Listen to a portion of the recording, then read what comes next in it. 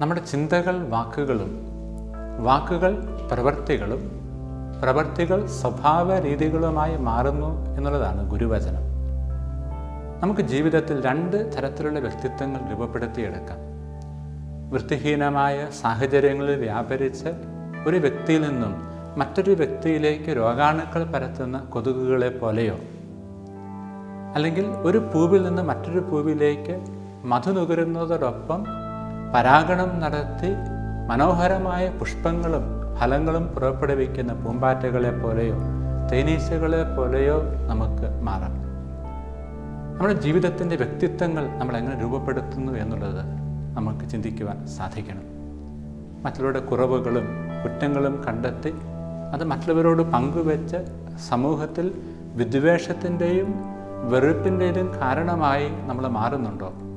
അതോ മറ്റവരുടെ നന്മ കണ്ടെത്തി അവരുടെ കഴിവുകൾ കണ്ടെത്തി അത് മറ്റുള്ളവരുമായിട്ട് പങ്കുവെച്ച് നന്മയുടെ കൂട്ടായ്മയുടെ അനുഗ്രഹത്തിന്റെ വക്താക്കളായി മാറുവാനായിട്ട് സമൂഹത്തിൽ നമുക്ക് സാധിക്കണം.